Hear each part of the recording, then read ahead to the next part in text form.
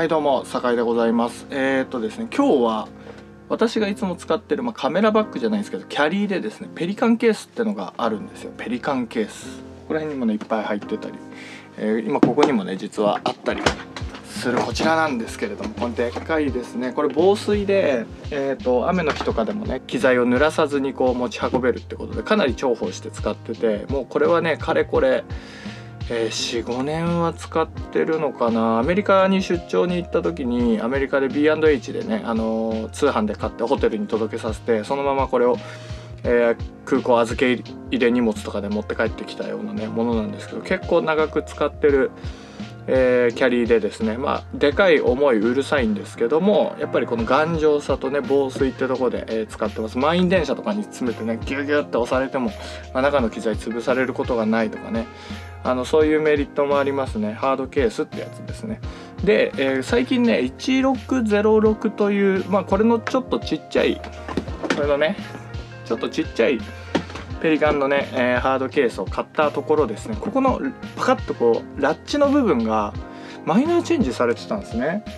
ここれがね今までついてたラッチでこれが見づらいね新しくついてるあの今回つけたやつなんですけどここにねボタンがついててボタンを押しながら外すと音がしないんですよ。でまたこうボタンを押しながらね止めるとね音がしないんですよね。今までのペリカンって本当にバチンバチンバチンってこうなんですか止める感じ。すごいうるさくて例えばオーケストラの撮影行った時のリハ中とかね絶対開け閉めできないの。のホールの中で。音が出ちゃうから。ですごい困ってたんですけどこのマイナーチェンジされたねペリカンのラッチをね使ったらもうこれめちゃくちゃいいじゃんってことで、えー、酒井ね探しましてあのリプレイス品をあの eBay で見つけました。eBay あのね残念ながら国内の Amazon とかでも売ってるんですがめちゃくちゃ高いんでこれはもうね eBay で個人輸入一択ですね。でせっかくなんで黒じゃあれだからと思って黄色いやつを買ったんですよ。こういうやつね。黄色ここにボタンがついてるんですけどね。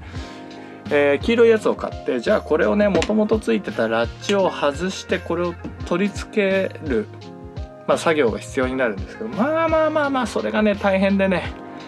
いや今日ほとんど1日半日ぐらい全部まるっと、えー、費やしちゃった感じなんですけれども最初はねこうピンで止まってるだけなんですよ。この樹脂製なんでねこの樹脂製のやつにこうこれがねピンなんですけれども見えるかな。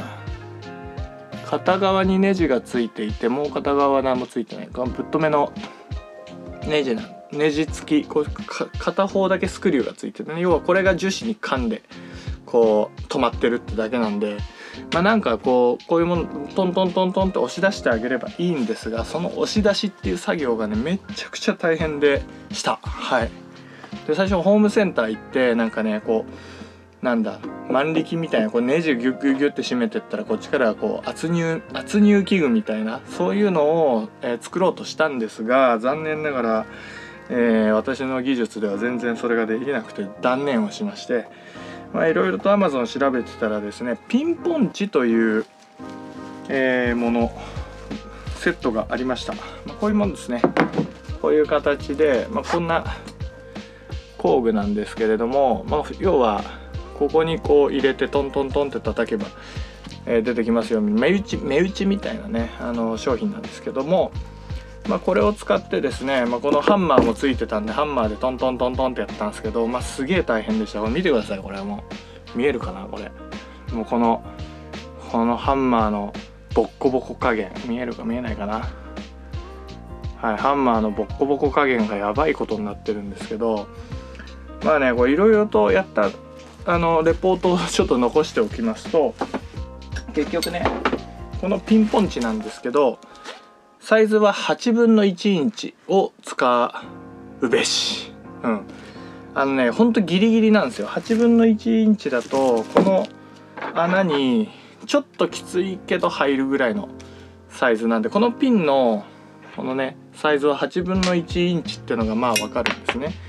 で、可能であればもうちょっとなんか細いのでやりたいなと思って、最初こう、隣についてる32分の3インチというね、あの一回り小さいサイズでやったんですけどこれだとねまあ難しいですね。あのむ難しかった。であと付属してたハンマーなんですけどこれもともとこっち側にね黄色い黄色い樹脂の、えー、パーツがついてたんですがそそれもねボロボロでこっちも黒い方もボロボロでね最初こう頑張って叩いてたんだけど全然ダメでこれね立てるからとかね。最終的にこのここネジで外れるんで外してこの金属の部分。これでカンカンカンカンカンってやったら、まあ、やっとね取れたということで、まあ、ポイントとしてはね、このラッチのね交換作業、まあ、残念ながら私ねこういうの動画撮らない人なんでねあの YouTuber あるまじき行為なんですけどこのねこの工具をまず買うこと、うん、最初からこれ買った方が多分早いと思います。あの自分で工具作れる人は別ですよ。であとこのハンマーもしくはお使いの金槌ですね。金属のあの釘打つやつ。あれを使ってください。こうプラスチックはダメですね。でそれを使う。もしこれ付属してくるやつ使うんだったらこのね金属面露出させてもうこれはもう捨てる覚悟で、えー、使うこと。でサイズは8分の1を使うこと。であとねやっぱ怪我に注意してほしいんですよ。ここなかなかねクリアランスがなくてあのほんとペリカンギリギリをこう叩いていくのでかなりこう指とか打ちやすいので私はですねこういうペンチプライヤーとかでこれをこう持ってこれでこうこう叩きました。あのこのまま打つとねこれずるっといって指打つと本当危ないのでそれだけはねあの注意してくださいね。でえっ、ー、とねこれあともう一つがこのねネジ。ネジねこれあのさっきも言ったように片側にスクリューかかってるんでこのスクリューを押し込んでしまうと意味がないんですよね。より食っちゃうんであのこっち側のスクリューない方から叩かなきゃいけないんですけどそれのね判別なんですが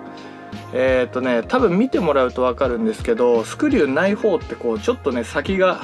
シュッてすぼまってるんですよ。で対してスクリューこのネジやネジ切ってある方っていうのはこうなんかねなんだちょっと広がってるというかこう